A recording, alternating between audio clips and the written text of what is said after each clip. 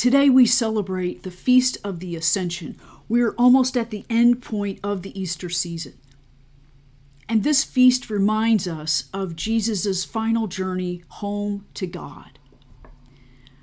One of the most powerful images that I've heard of preaching on this gospel came from when I was in graduate school from one of my professors, he, a Lutheran pastor who preached on this text.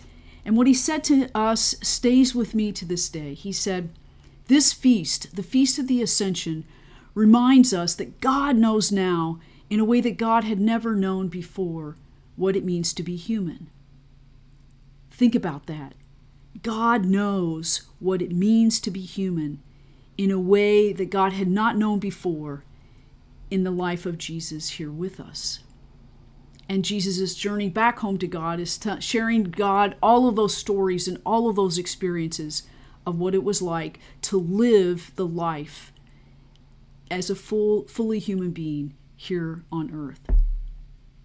The first part of the story, though, speaks of, in the Gospel of Luke, of Jesus reminding the disciples that they are witnesses to this life of Christ in the death and resurrection of his life, and sending a promise of God's blessing of the Spirit.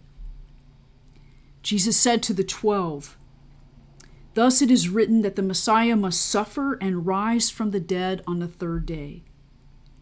You are witnesses to all of this. I, and I will send down upon you the promise of God. The promise of God is the Holy Spirit, which we will celebrate next week in the Feast of Pentecost. The second part is about the leave taking. Jesus then led the disciples out near Bethany and with hands upraised blessed them. And as he blessed them, he left them and was taken up into heaven. They fell down to do him reverence and then returned to Jerusalem filled with joy. They were found in the temple constantly praising God. Jesus, in this leave taking, is on this journey back home to God, this ascension at Bethany, this tiny speck of a town right outside of Jerusalem, where the disciples receive that final blessing and then Jesus goes, ascends, and goes home to God, connecting with God and humanity. God, Christ is that connection. And it's more deeply connected now than it was before. Jesus, the Christ, the risen one, connecting us with God. Right now, the Gospel of Luke says the disciples then go, are filled with joy and go back into the temple praising God. Other Gospel stories will share they're, they're afraid we will hear more about the disciples on that feast of Pentecost in receiving the promise of God at, Pen- at Pentecost.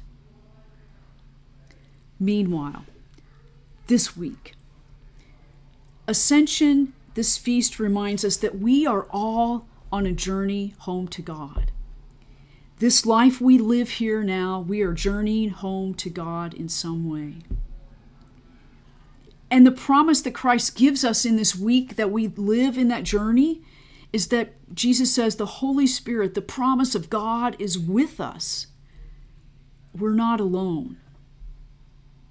That promise of God that began and came full circle near Jerusalem in that tiny city of Bethany connects us through Jesus, connects us to that experience of God. And in that connection, maybe we experience God in a way we have not experienced before through the, through the eyes of resurrection and how we practice resurrection. And God comes full circle in this feast saying God experiences humanity in a way that God had not known before in Christ.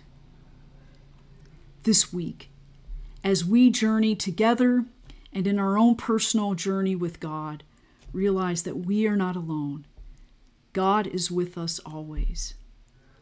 Amen.